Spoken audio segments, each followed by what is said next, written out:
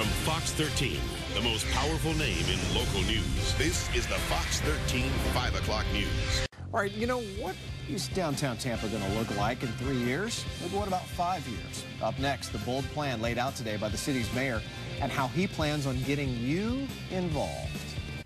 Tampa Mayor Bob Buckhorn says today is the start of a new beginning for the city. He just announced his master plan for downtown and its surrounding areas. Fox 13's Kristen Wright's live in downtown tonight to tell us about the plan and how you can get involved. Kristen?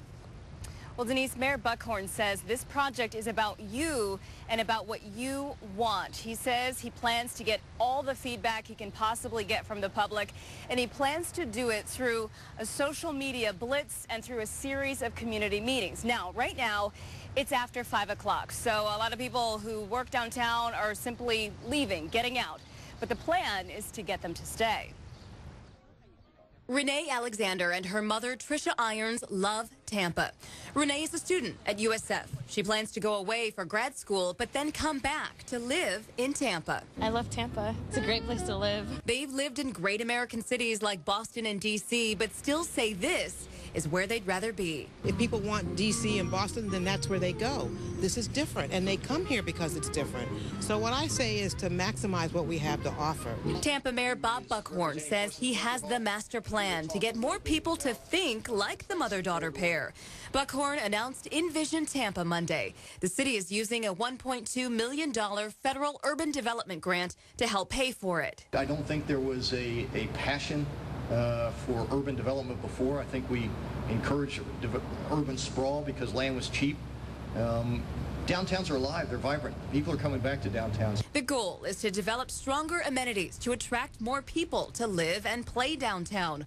Also, to connect the surrounding areas of Channelside, Ybor City, Tampa Heights, and areas west of the Hillsborough River. Downtown may be the hub, but the spokes are the neighborhoods, and the spokes have to be alive and engaged and feel feel a part of this. Transportation improvements are part of it, and Mayor Buckhorn says light rail is necessary long term. That's how we make these areas more connected, so that you don't have to drive from one area to the other. Some are skeptical of the whole plan, though, and don't want to envision anything. It's something that I think most people would consider frivolous.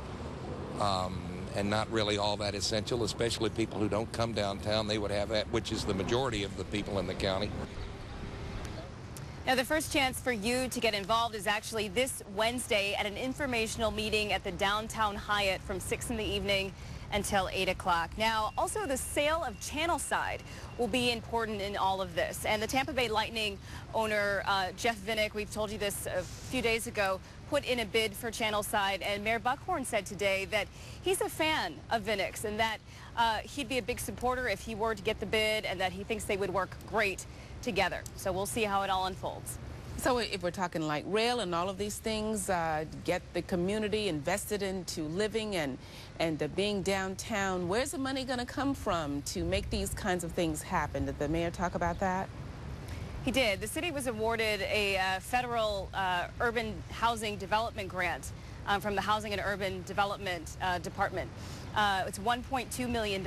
So the city will use that money in addition to uh, some of its own money uh, to to work this all out because we know it's it's going to come with a price tag for sure. For sure. Kristen Wright, thank you. Mark?